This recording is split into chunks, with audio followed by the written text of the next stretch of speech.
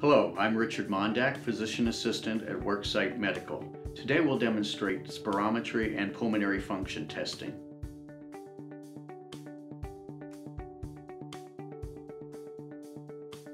Pulmonary function testing or spirometry tests lung function.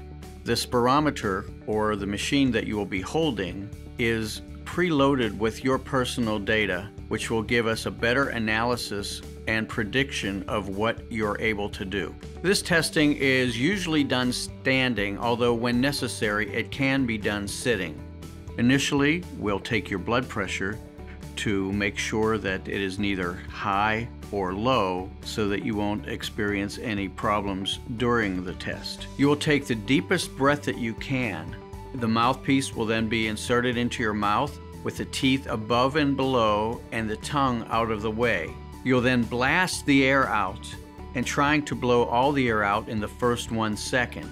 You'll keep breathing uninterrupted through the mouthpiece until prompted to stop for at least six seconds.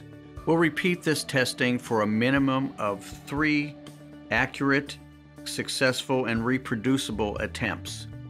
When we have three accurate and reproducible attempts, we will stop the test, print the results, and explain them to you. And that concludes pulmonary function and spirometry testing. Thanks for watching.